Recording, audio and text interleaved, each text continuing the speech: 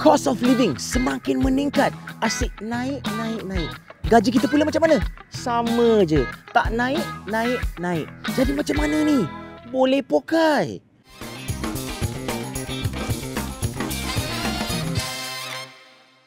Okey sis, saya nak tanya awak ni. Gaji awak cukup tak? Ah, nak cakap cukup tu tak cukup sangat lah. Tapi Alhamdulillah.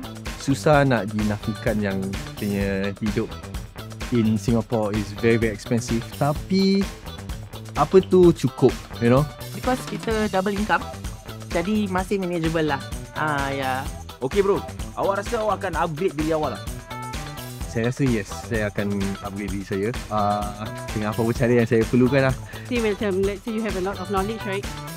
Uh, it's also um, will apply to your work skill. And then that's where you have your value and your credibility there. We should upgrade ourselves on a daily basis. It simple skills like apa sekarang government kasih cooking class lah apa lah you you can take that as a basis untuk buat business also. Orang awam dah berbunyi. Ha, ramai yang cakap mahal kalau nak hidup di Singapura. Tapi Pak Hans, mesti ada cara untuk hidup lebih selesa di Singapura. Hmm, macam mana nak naikkan gaji? Si pakar muda? Oh, si pakar muda.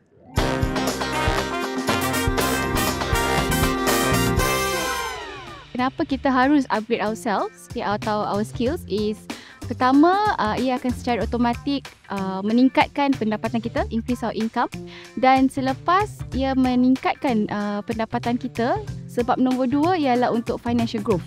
Right, sebab kita punya income sudah naik kan. Jadi kita ada financial growth dan financial stability lah.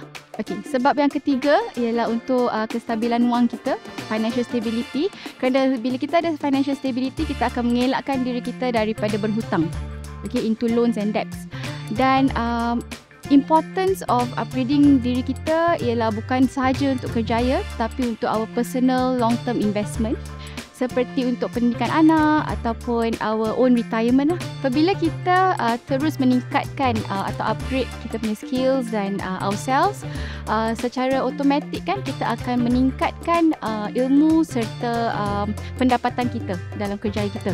Okay, uh, dalam segi apa seperti uh, naik pangkat, uh, promotion in terms of our salary dan juga um, any um, successful stories in our investments lah kerana kita ada ilmu tu sendiri dalam kita.